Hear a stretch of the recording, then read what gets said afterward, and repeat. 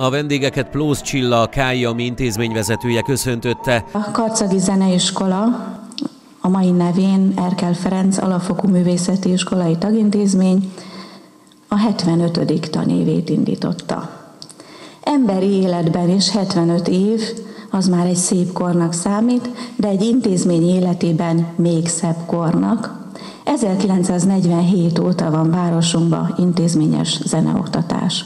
Azóta több ezer fiatal került ki a zeneiskola épületéből, sajátította el ott valamelyik hangszer tudományát, és számos fiatal került zenei pályára, ért el sikereket.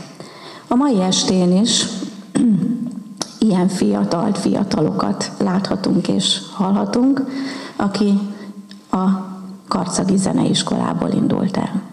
Majd a műsorban fellépett Donkó Anna Mária és Donkó Imre, mindketten a Debreceni Csokonai Színház művészei. Zongorán közreműködött Gyülevészi Péter és Tóth Kinga. Egy számban duettet énekelt Donkó Imrével Szűcs Attila.